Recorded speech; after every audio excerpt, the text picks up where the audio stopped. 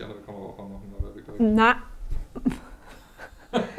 Ruhig bleiben, Sohn. Hallo, meine lieben Puschels. Heute ein Video mit meinen beiden Söhnen. Na, ihr kleinen Süßen. Wir haben gerade hier alles aufgebaut und sie haben sich direkt schön in den Mittelpunkt gedrängt. Ne, so seid ihr. Und tschüss, der eine ist schon weg und der andere wird wahrscheinlich hier bleiben. Möchtest du vielleicht auch mal gehen? Hm? Danke. Nein. Salem, hallo. Wir wollen jetzt das Video anfangen. Guck mal hier. Ich setze es hier hin. Und zack, geh hinterher. Oh mein Gott! Wie brutal er es auseinander nimmt. What the fuck? Oh mein Gott. Jetzt ist er unter den Tisch gegangen, ist hochgegangen, hat sich den Kopf gestoßen. Oh mein Gott. Das? So, okay, los geht's. So, meine lieben Puschels. Heute haben wir uns gedacht, machen wir mal ein Video, in dem ich euch alle aktuellen Farben aus dem Shop zeige, dann unsere neuen Pinsel vorstelle, das Glitzer vorstelle, unsere Prints zeige und die Boxen und so meine Favoritenfarben einmal vorstelle und ein paar euer... Bist du gleich fertig, Puschel? Der nimmt gerade Kartons auseinander. Auf jeden Fall, ihr merkt schon, es wird so ein richtiges Dauerwerbesendungsvideo heute. Ich meine, wir haben es ja sonst auch immer in der Ecke stehen, weil ich schminke halt mit unseren Farben. Offensichtlich ist es halt irgendwo Werbung, weil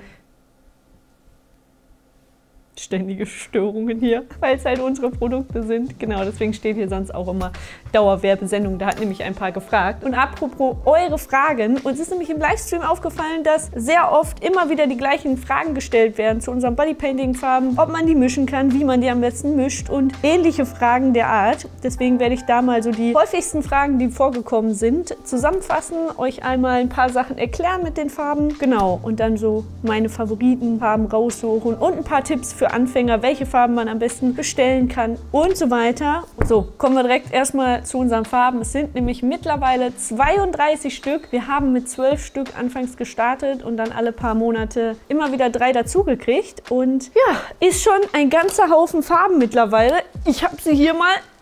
Butz wird jetzt erstmal hier der Reihenfolge nach aufbauen, dann geht's weiter. Hallo, du jetzt nicht hier. Komm, geh mal runter. Ich weiß, du magst die Farben.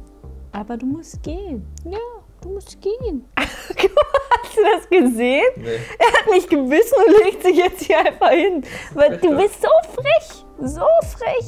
Unfassbar frech. Da sind sie, meine kleinen bunten Babys. Wir sind so stolz darauf. Es ist so mega cool, euch was anbieten zu können, was nicht einfach nur irgendwie random Merch ist, sondern womit ihr selber auch was anfangen könnt, kreativ werden könnt und euch gegenseitig inspirieren. Und das ist richtig, richtig schön mit anzusehen, wie viele damit arbeiten, wie viele überhaupt dadurch auf Facepainting kommen und sich da künstlerisch ausprobieren. Mega schön anzugucken. Ihr könnt gerne bei uns in den Discord kommen und da eure Facepaintings rein posten, denn jeden Sonntag reagieren wir nämlich auf eure Kunst. Ihr schaut uns ja hier auf dem Kanal auch immer zu und deswegen wollen wir da ein bisschen was zurückgeben und, und nehmen uns sonntags immer die Zeit, einmal im Discord eure Facepaintings anzugucken und gemalte Fanarts oder halt generell einfach schön gemalte Sachen. Gucken wir uns da auch an. Link ist unten in der Infobox, also kommt gerne bei uns in den Discord oder kommt zu Twitch, da sind wir eh jeden Tag online. Genau, ja, also die Farben werde ich mir jetzt nicht alle auf den Arm auftragen, weil wenn ich zu jeder Farbe was erzähle, wird das Video 10.000 Jahre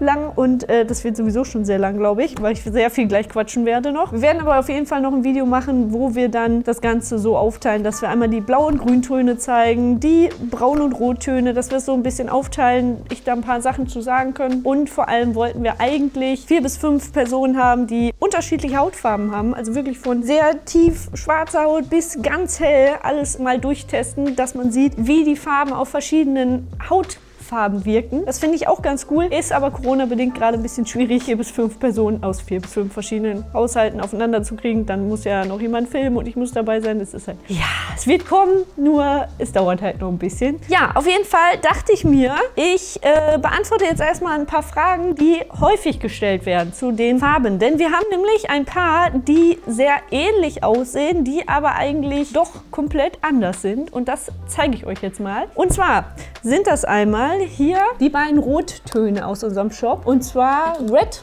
und Valentine Schimmer. Die beiden Farben wirken nämlich auf den ersten Blick gleich, also sehr ähnlich. Valentine Schimmer ist ein Tacken kräftiger Rot, würde ich jetzt einfach mal sagen. Und Red ist so ein bisschen mehr Blutrot. Aber es ist letzten Endes schon sehr ähnlich von der Farbgebung. Aber der große Unterschied zwischen diesen beiden ist einfach, dass Red ein dunkelmatter Ton ist und Valentine Schimmer, wie der Name schon sagt, so ein richtig schöner Schimmerton ist. Und das zeige ich euch jetzt einfach mal auf der Haut aufgetragen. Und genau das gleiche ist übrigens auch bei Purple Rain und Lavender. Lavender Schimmer der Fall. Und zwar ist das auch im Grunde der gleiche Ton, minimaler Unterschied, aber Purple Rain ist eben matt und Lavender Schimmer ist ein Schimmerton und da zeige ich euch jetzt einfach mal auf meiner Haut die Unterschiede.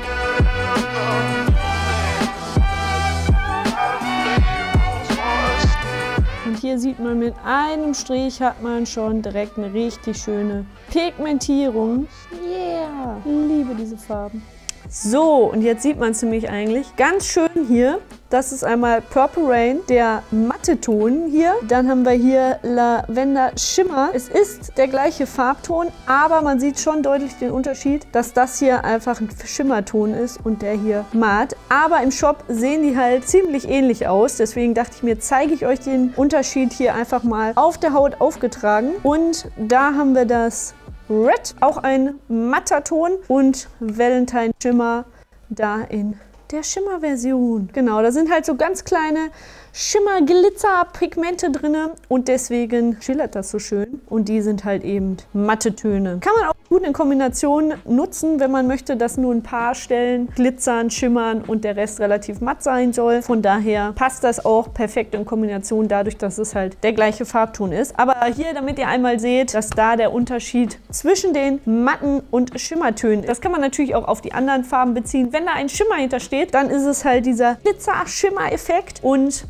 wenn das nicht dahinter steht, dann ist es einfach ein matter Ton. Steht auch immer noch in der Textbeschreibung, aber so habt ihr es jetzt nochmal gesehen, vor allem bei denen, die eigentlich gleich aussehen, aber halt doch einen Unterschied haben des Schimmereffekts, genau. Und dann haben wir noch die Töne Line White und Silver White with Glitter Schimmer. Und zwar sehen die im Shop auch relativ ähnlich aus, aber das Line White ist so ein richtig schön pigmentiertes, mattes Weiß. Und diese Farbe hier Silver White with Glitterschimmer ist einfach nur so ein ganz leichter Hauch von Glitzerschimmer. Ich zeige es euch einmal hier. Genau, hier einmal das Weiß in matt und pigmentiert und hier sieht man ganz viele kleine Glitzerpigmente drin, die richtig schön glänzen. Und da ist halt auch der Unterschied des Deckenmatten und hier einfach ein schöner Schimmerton. So, dann kommen wir direkt mal zu einer sehr häufig gestellten Frage. Und zwar, ob man die Farben ineinander mischen kann und wie man das am besten macht. Natürlich, ihr könnt die Farben alle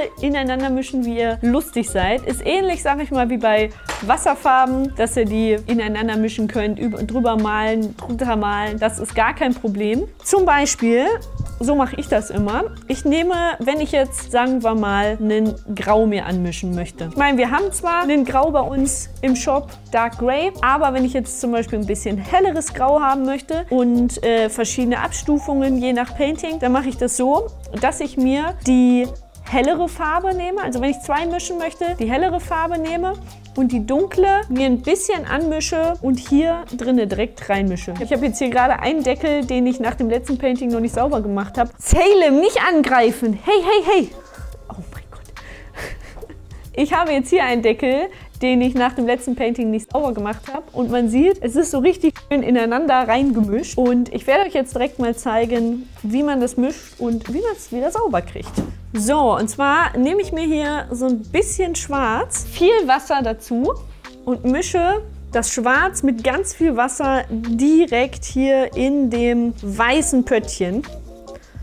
Und zwar so lange, bis ich halt meine gewünschte hellgraue Farbe habe. Und wenn ich mehr davon brauche, mische ich schwarz immer wieder nach. Man kann zum Beispiel da jetzt auch perfekt Silver White with Glitterschimmer reinpacken. Dann gibt es so einen leichten Schimmereffekt noch. Das könnt ihr natürlich auch machen. Die matten Töne mit den Schimmertönen mischen, wenn ihr die so ein bisschen kräftiger matte haben wollt, aber trotzdem noch diesen schillernden Effekt. Dann ist das dafür auch immer ganz cool. Genau, und dann könnt ihr damit schon loslegen und das Ganze auftragen. Und wenn ihr die wieder sauber haben wollt, dann nehmt ihr euch einfach hier so stinknormale Feuchttücher schwupps, und geht damit einfach einmal in den Farbdeckel rein. Zack. Und da ist es auch schon fast sauber. Das muss man halt so zwei, dreimal machen und dann ist die Farbe eigentlich wieder schön sauber. So mache ich das immer. Man kann die natürlich auch einfach einmal so ein bisschen unter Wasser halten, ein bisschen äh, sauber machen, dann Zewa drüber kurz und dann ist es auch wieder strahlend weiß. Das mache ich tatsächlich sehr oft, dass ich mir das einfach so ineinander mische, weil dann habe ich die Farbe, die da drunter ist, die helle, immer wieder direkt aktiv mit drinne und muss immer nur ein ganz bisschen von der dunklen Farbe reinmischen. Meistens, wenn ich die Farben mische, mache ich das mit schwarz und weiß oder benutze halt weiß und nehme weiß für irgendeine andere Farbe, um die halt so ein bisschen aufzuhellen.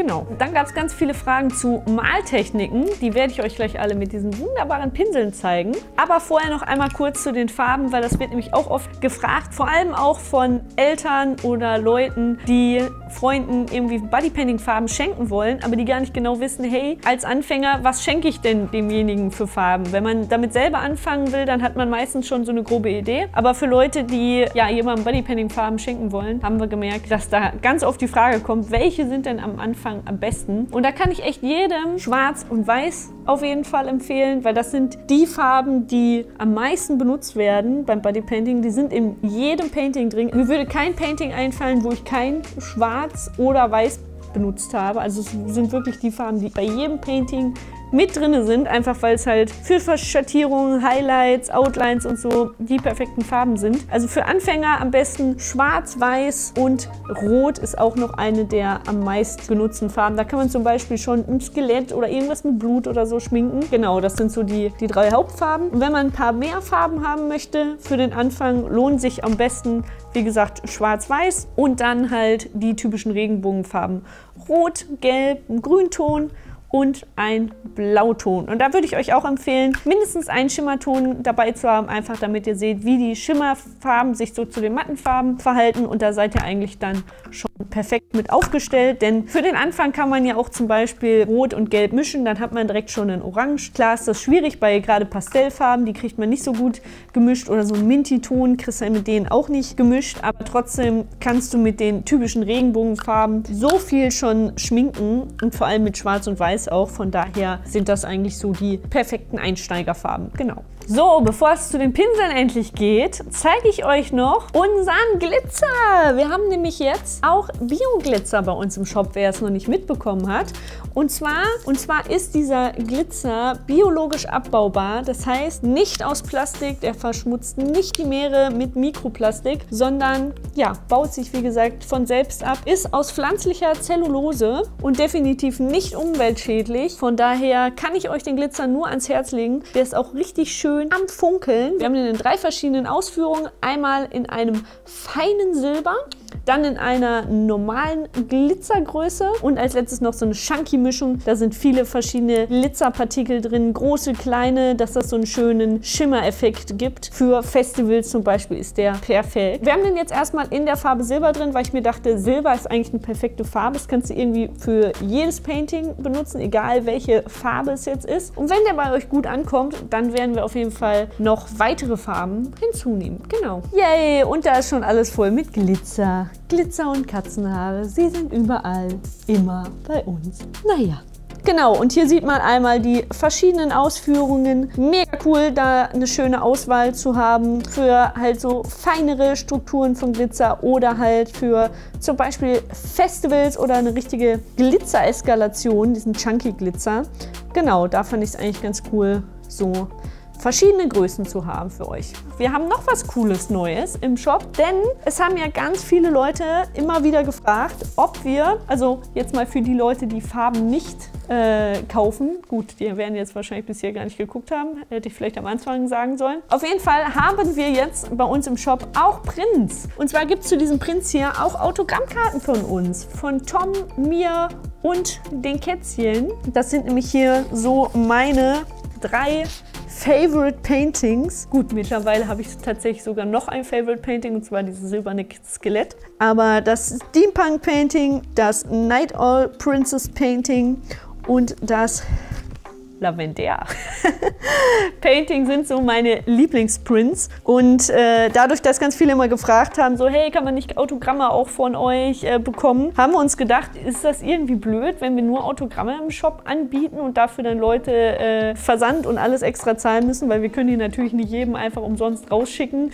Auch wenn ihr die eigentlich, die Autogramme umsonst bei jeder Bestellung dazu kriegt und auch auf Messen und natürlich umsonst kriegt, aber wir müssten ja jedes Mal Porto und alles zahlen. Von daher haben wir uns gedacht, ist das eigentlich eine ganz schöne Sache, wenn wir zu den Autogrammkarten halt auch noch diese Prints hier anbieten. Wie gesagt, sind das meine Lieblingsprints und ihr könnt uns sogar damit unterstützen. Es gibt natürlich zu den Autogrammkarten plus den Prints hier auch noch Puschel und Salem Aufkleber dazu. Genau, und eine kleine Überraschungskarte, die seht ihr aber nur, wenn ihr die bestellt. Und apropos unterstützen, und zwar haben wir jetzt Patreon. Ja, yeah, wir haben es endlich mal hingekriegt, äh, uns Patreon zu machen. Ganz viele andere Künstler haben ja auch Patreon. Das ist eine Seite, wo man Künstler unterstützen kann und dafür halt extra Content kriegt. Und bei uns werdet ihr extra Content kriegen, wie zum Beispiel Skizzen oder Bilder, die ich gemalt habe, die sonst nicht öffentlich gepostet werden oder zu jedem Bodypainting-Video, was wir machen, gibt es natürlich auch immer etliche Fotos. Wir machen so bis zu 200, 300, 400 Fotos und es werden letzten Endes auf Social Media eins bis drei höchstens gezeigt. Die Leute bei Patreon sehen dann halt mehr von diesen Fotos oder zum Beispiel auch Paintings, die ich dann wirklich oben ohne anmale. Also wenn ich dann halt nur mit Nippelkleber meine Brüste und alles anmale, weil auf Social Media ist das natürlich nicht erlaubt. Ähm, ja, Männernippel kann man sehen, Frauennippel nicht. Das ist auch so ein Ding, da könnte man tausend Jahre drüber diskutieren. Für mich ist Bodypainting einfach wunderschön, ästhetische Körperkunst und jetzt nichts irgendwie obszönes, billiges. Als Frau muss man sich meiner Meinung nach nicht für seine Brüste schämen, auch wenn manche verrückte Menschen der Meinung sind. Von daher, ähm, ja, haben wir uns gedacht, gut, ich liebe solche Paintings und äh, mache die auch gerne. Von daher äh, gibt es die leider nur auf Patreon, weil es halt einfach sonst immer nur zu Problemen kommt auf YouTube, Instagram, Social Media. Zum Beispiel wurde unser Schneewittchen-Look wegen Gewaltverherrlichung auf TikTok gelöscht. Oder das Vanitas Painting wurde wegen Nacktdarstellung geclaimed und da hatte ich ja sogar so ein komplettes Tuch über meinen Brüsten und habe das dann angemalt. Also es ist halt, machst du nichts. Deswegen gibt es halt solchen Extra-Content dann halt auch nur auf Patreon und die Leute kriegen da auch früher Bescheid über unsere Projekte, wissen vorher, welche Farben rauskommen und so weiter. Genau, also wenn ihr uns da gerne unterstützen wollt, dann macht das gerne. Die Infos dazu gibt es auch nochmal in der Infobox. Und damit würde ich sagen, Tom, du hast das letzte Wort. Ja. Klasse. Gut. unseren Scheiß und guck bei Twitch vorbei. Willst du nicht wenigstens einmal Hallo sagen, Tom? Och, ich bin bin müde. Ein bisschen das hier um 3 Uhr nachts auf. Was soll das denn? Ich will schlafen. Wir haben 3 Uhr jetzt. nachts, was wie ist Ja. das schon wieder passiert? So, hier Twitch auch noch anklicken. Ist ja nicht süß. Mit Spielen meinem wir Pulli, dieses Sachen. kleine Schwein schon wieder. Das ist nicht dein Pulli. Das ist mein Pulli! Das ist mein, dein. Das sind doch nur. Ja, auf jeden Fall kommt gerne bei Twitch vorbei, da sind wir jeden Tag online und äh, ich werde nächste Woche wieder anfangen, ein Acrylbild zu malen. Genau. Also wer Bock hat, checkt alles aus. Wie immer ein äh, Daumen nach oben nicht vergessen und schreibt mir gerne, gerne in die Kommentare, falls ihr irgendwelche Fragen zu den Farben hier noch habt, dass wenn wir nochmal ein Video machen, ich so ein paar Sachen nochmal ansprechen kann. Ihr könnt es natürlich auch jederzeit bei Twitch fragen, wenn ich gerade ein Facepainting mache zu den Farben oder irgendwelchen Pinseltechniken. Da müsst ihr einfach gucken, dass wir genau dann ein Facepainting machen und ich am besten die Farben alle am Start habe. Und übrigens, Sonntag gibt es ein mega geiles, vielleicht ist heute auch Sonntag, mega geiles Painting auf Twitch. Erst zocken Ju, also Julian Bam und Tom ein bisschen oder gucken sich Reddit-Sachen an zusammen und danach gibt es ein Facepainting, was so in die Pastell-Gothic-Richtung geht und richtig cool wird. Also schaut vorbei und damit jetzt endlich auch Tschüss.